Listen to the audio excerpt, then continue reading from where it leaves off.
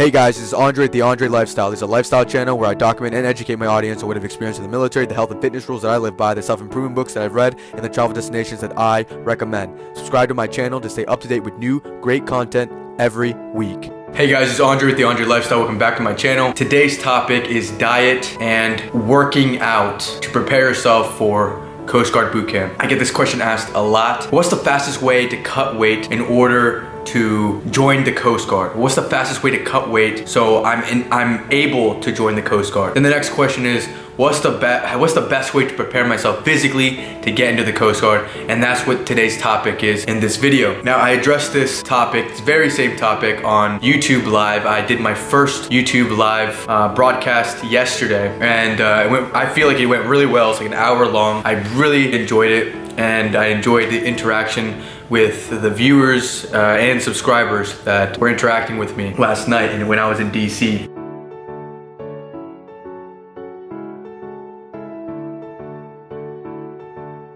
Just a recap of what we talked about yesterday. I'm gonna recap everything that I talked about, starting with the workout, okay?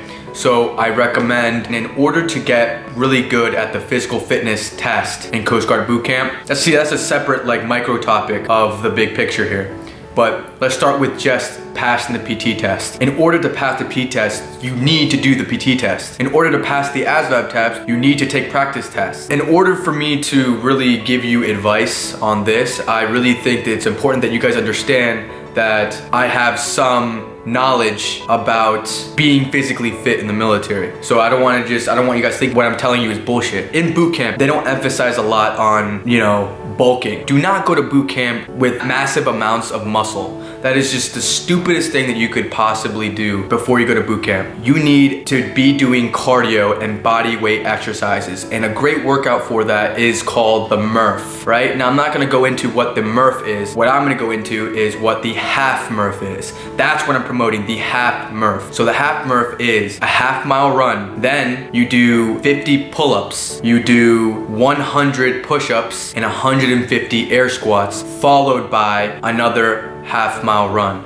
That is the half Murph. If you can do that workout every other day before you go off to boot camp, no matter how long, if you if if you have let's say you have a week before you ship off to boot camp, I recommend you do that every single day until you get to boot camp. And I guarantee you that you will be ready for Coast Guard boot camp physically. Now, if you if you want to excel even more and you want to be a, a physical specimen, you want to be a stud at Coast Guard boot camp, do the full Murph, right? So the full Murph is a mile run, 100 pull-ups, 200 push-ups, 300 air squats followed by another one mile run. That's the one, that's the exercise I'm promoting. It, you are using every part of your body when you do the half, when you're doing the Murph or half Murph. You're using every single part of your body and on, and on top of it, you're incorporating body weight exercises and um, you are doing cardio, you're running, you're running two miles. The, the Coast Guard PT test is a mile and a half, that's the run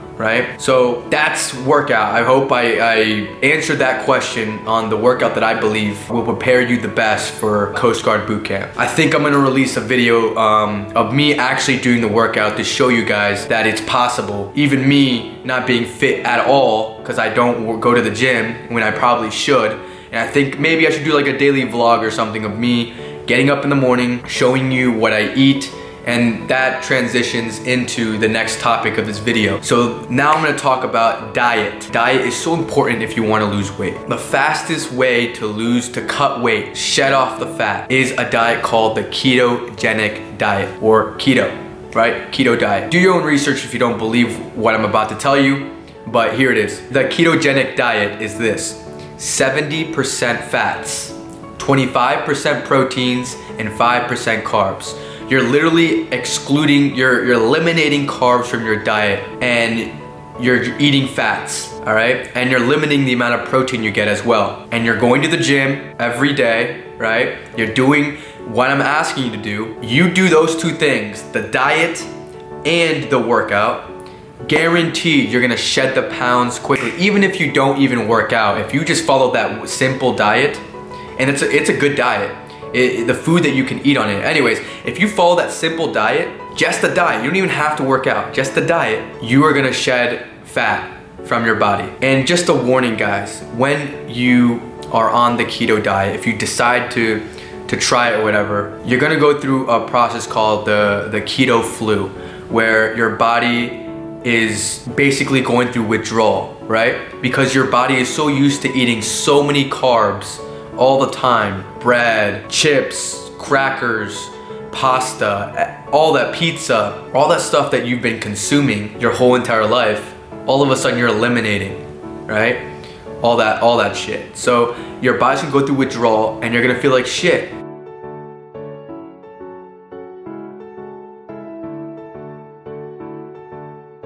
Do your research guys. I can't go into every single detail. Maybe when I go through my daily vlogs of me going through the keto diet and working out and stuff, I'll, I'll incorporate a little bit more details about it. Um, but really do your own research and, and make sure that um, you're doing it correctly. Because if you do it correctly, you're gonna lose weight. You do both, you're going to feel phenomenal, right? Nowadays, I'm eating crackers, I mean pizza, you know, but if I really wanted to get in tip, uh, tip top shape, this is what I would do. Everything I'm telling you I have done, I have experimented with, and it has worked for me. And if it's worked for me, I'm sure to work for you. I really do think that. I believe that. Uh, but you have to put in the work. It, it doesn't matter if I tell you this and you do the keto diet for, you know, a week and then you binge on like pizza and burgers and fries and stuff like, and then you tell me that you got no results. That's, no, this is discipline, okay? If you really want this, you want to be in the Coast Guard and you're overweight, you really want to do this, you want to you want to make it to the next level, you want to change your life, do it. Take action. Don't just talk about and complain that you're not where you want to be. This is your life. You're in control, okay? Take responsibility. If this is what you want, you can do it. You can do it. If you guys want to see me do the workout that I'm talking about, and start the ketogenic diet once again and get in tip-top shape like I was and, and show and document it, I can do that. Let me know in the comment section below what you guys think. I really do think I need to get back into shape. I've been eating pretty unhealthy. If, if you told me to run two miles right now, I would be huffing and puffing.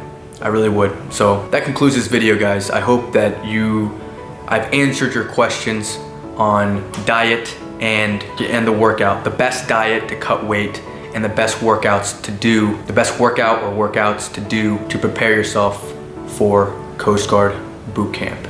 After Coast Guard boot camp, guys, do whatever you want. I mean, you want to bulk up, bulk up, but I'm, I'm simply here to help you prepare for Coast Guard boot camp. That concludes this video, guys. If you like this video, please give this video a like, comment on this video, share this video, and of course, subscribe to my channel for more great content every week.